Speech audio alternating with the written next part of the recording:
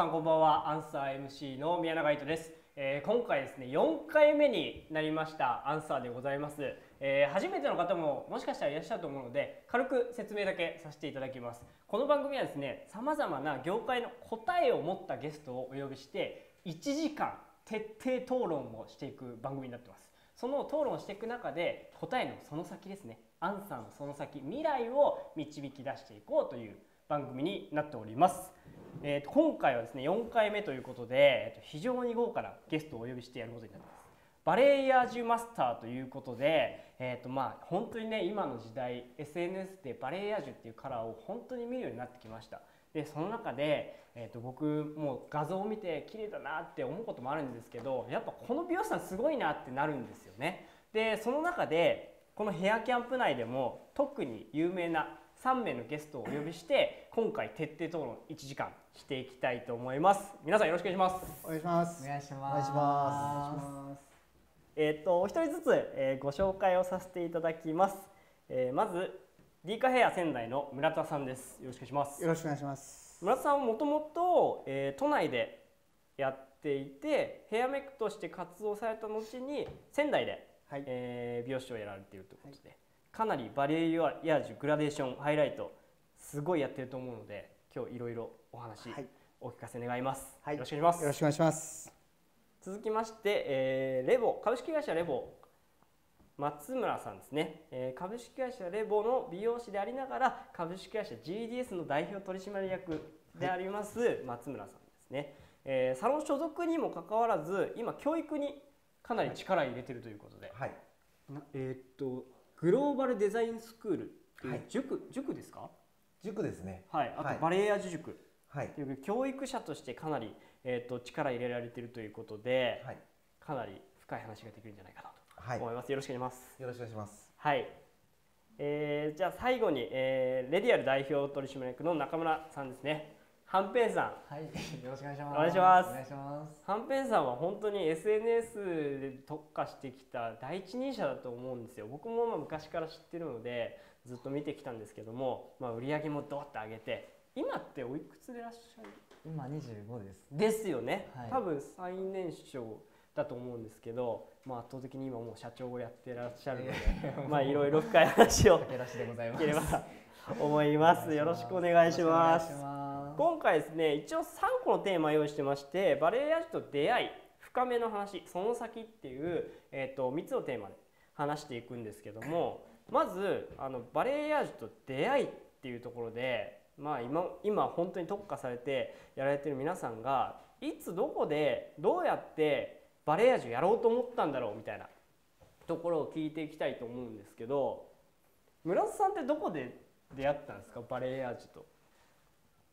フリーランスになった時に、えー、と海外にあのファッションウィークで行った時とかにまあなんかモデルさんの仕込みとかで、はい。あのさらっとまあ見てはいたんですけど。あヘアメイクされてる時にそうですね。海外のバレエアージュを見てっていう感じだったんですか？まあ、当初はもう仕込みにしか目いってないのでさらっとこう見てたような感はあなるほどなるほど、はい。じゃあもともと結構なんなんていうんですか昔からバレージュの技術はあったってことなんですかね？と思いますね。ハケ自体が違ってなるほどなるほど。松松村もそそうですよね。海外ですか？僕もそうです。ね。海外行った時に、まあちょっとなんか教えてほしいって言われた時に、えーまあそれを見せてもらって、まあ実際まあ帰ってきてやってみてもまあその時はやっぱうまくいかなかったっていうのがあったそうですよね、はい。中村さんは一番最初は何だったんですか？きっかけ？きっかけはあの前者のアライブがグラデーションカラーのお店だったので、そうですよね。そうですね。でグラデーションハイライト。並行してハイライトグラデーションってあったんですけど、それでこうなんか海外の写真とかを見せていただいたお客様に。でバレエアージュにしたいですって言われたんですけど。バヤイレージュ？ん？バレエアージュみたいな。なんかどっち？でもバヤイレージュかバレエアージュかみたいな。ありませんその。でこれなんだろうっていうのを叶えたいなと思ってこういろいろビッグで試行錯誤してっていうのがスターあトー。ウィウィッグでやってたんですか？最初。ビッグで最初怖かったので、えー、えそれってアシスタント時代ってことですか？アシスタント僕1年アシスタントではい。1年後にカラーリストになったんですけどカラーリストっていうのがそのカットできないスタイリストみたいな感じなので一応デビューっていうんですかね一応デビューしてたんですけどでお客様の要望を聞いてそうバヤイ練習しのしよう。バヤイみたいなバヤイ練習バレエ練習しなきゃなってなりましたね。なるほど。カットはできない状態で勉強してました。あそうなんですね、はい。いやなんかあのさっきも物議を醸したんですけど僕ももともと店長をやってたんですよね美容室で。で店長がウィッグを出すってなんかタブーなのではみたいな。なんかこうアシスタントが練習する場所とかでなんかこう店長がゴソゴソってわウィッグを出してしまうとなんか変なプライドが許さなくてやってなかったんですよ。なんですけど中村さんが「いやウィッグ練してましたね」とか言うから ええと思って「えいされてますか？ウィッグ練村田さんされてますか？されてます。えでも結構む難しいっていうかあのウィッグでバレエヤージュとかそのブリッジからやるってことですよね。そうです。あれってねなんかこう黒染めみたいな入ってる状態からやるんですよね。ですね。何回ぐらいブリッジするんですか？行けるところまで行くのもなんかある種実験になるじゃないですか。あー松村さんもされますか？僕はまあ今はしたりしますけどその当初はやってないと思います。あな逆に何で？シャドウっていうんですか？シャドウ？頭の中で割と物作ったりとかシャドーボクシングシャドーみたいな。想像するのが子供の頃からはい。結構好きで、はそれで割と形作れちゃったりとかしてる多分。天才ですね。多分そういう多分ものはあるのかいもしれなじゃあはい。もうなんかこう空想上でこういうの作りたいと思ったら一度ちょっと形作ってばらして展開図作ってそれで実際やったら大体っていうことの方がえー、すすどうですかお二人は？うん。でもまあ展開図は書いてっていうのもうーん。ななんか僕すごい疑問だったのが5年前とかまあ3年前とかってバレエヤージュやってる人なんていなかったじゃないですか。日本に。で教育も今今でこそヘアキャンプさんとかで勉強できますけど当時そういうのなかった中で何をどうしてあれを作ろうと思ったんですか？どこで勉強したんですか？どこで勉強したんですか？僕はあ当時その働いてたアライブの店長が大石さんって人はいはだったんですけどえーっとなんか大石さんって01みたいな感じなんですけどわかんないですけど海外でこう YouTube とかでなんかシャシャってこうやってるのありません、はいはいはい。あれを大石さんがぶっつけでお客さんにやってたんですよ。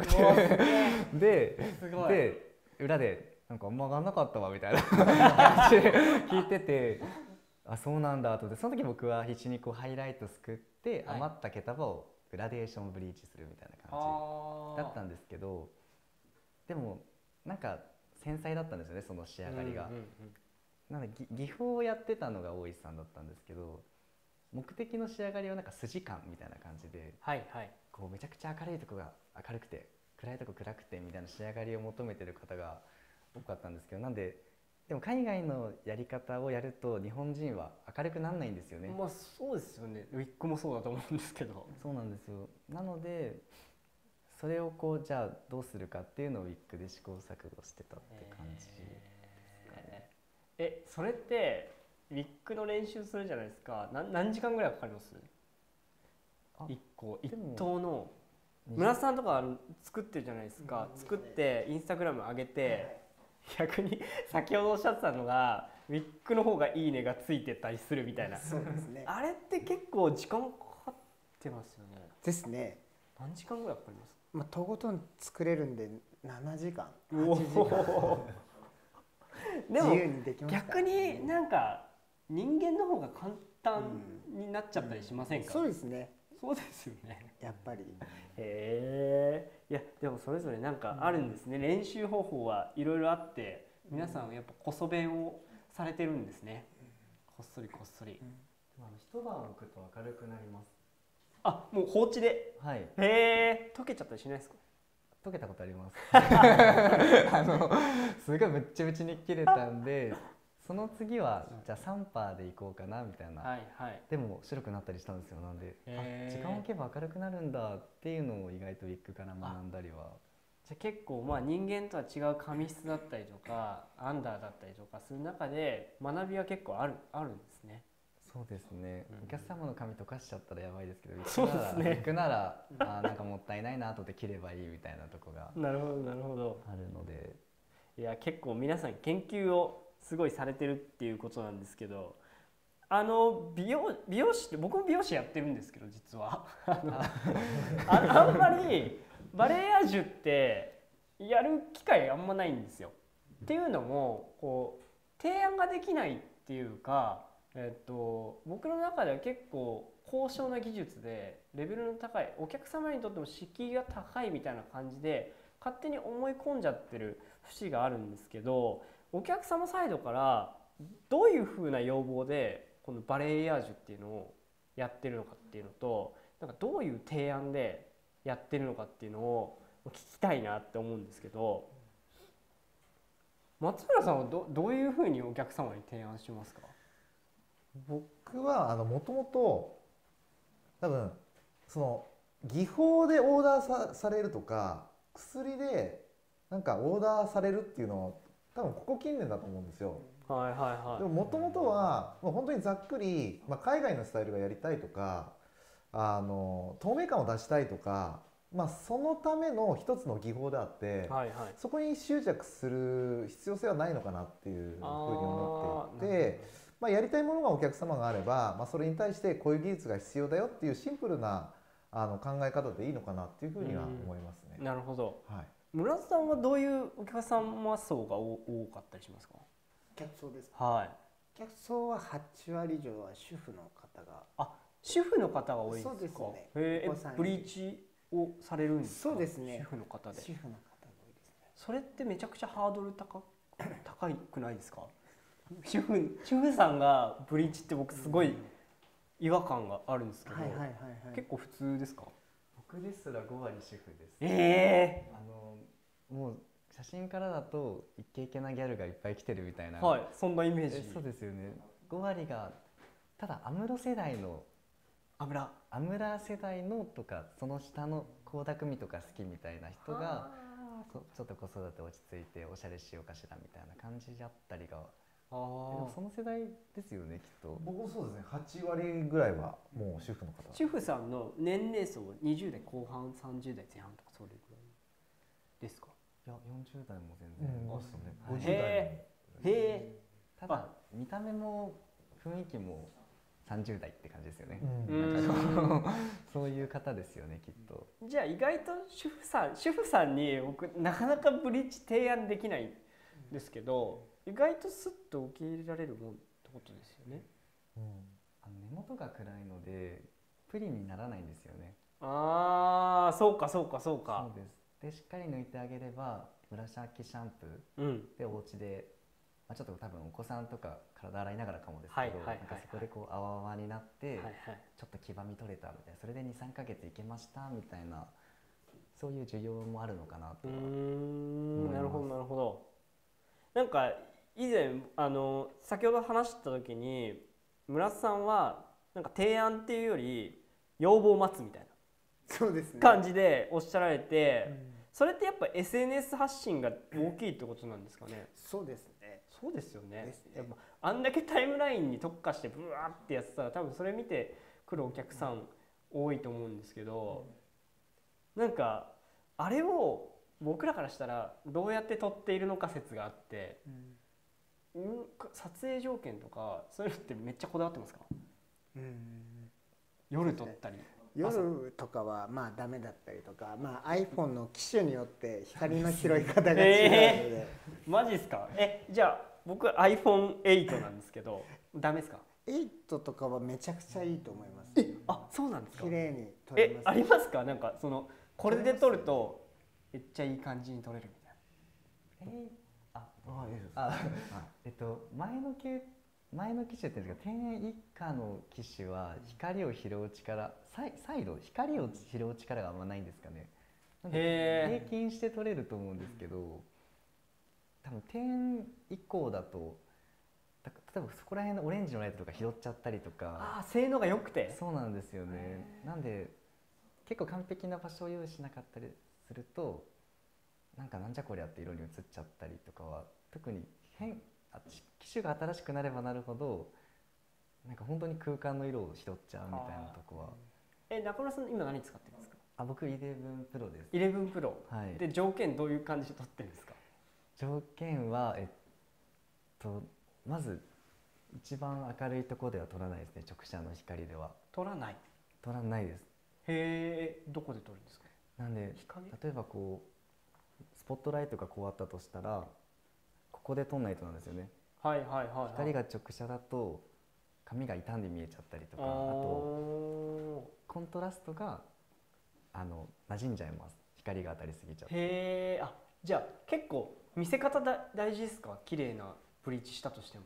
僕ライト消して撮ったりします。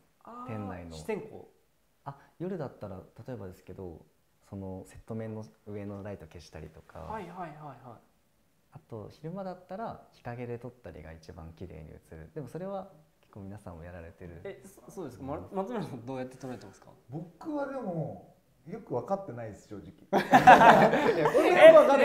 めちゃくちゃ綺麗じゃないですか。いや本当に子供みたいにパシャッと撮って あーなんかいい感じラッキーみたいな。そんなスタンスなんで僕本当そうなんですよ。えあれってなんか僕らからしたら、はあれ30分以上かけて撮ってんのかなみたいな感じなんですけど結構ラフなんですか？お客様スナップを撮る時って。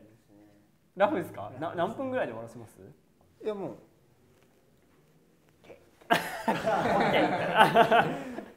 15秒ぐらい。で、15秒にそうですねそんな感じですね。えーえ加工は入れるんですか？どどんぐらい入れるんですか？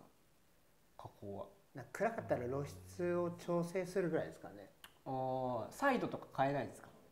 サイド変えると手の色が変わっちゃうんで。バレるってやつ。そうですね。うわすごい。僕絶対バレバレの写真撮っちゃう自信ありますわ。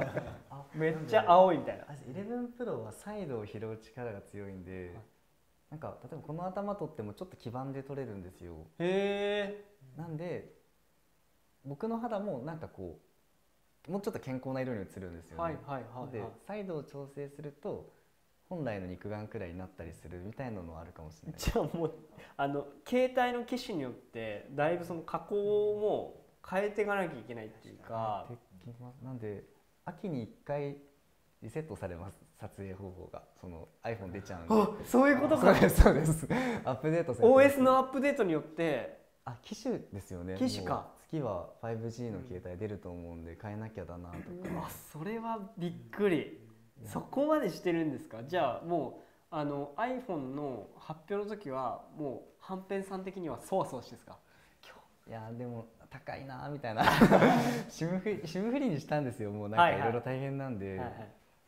やそうなんですよ。毎年高いなと思いながらやっねてますね。えはんぺんさんが11プロ？え、はい11プロ。です。松村さんが10 10はい村田さんが11プロと前に使ってた10があるので、はい。夜は10で撮って日中は11で。えわかる？あの僕ね下取り出しちゃったんですよね。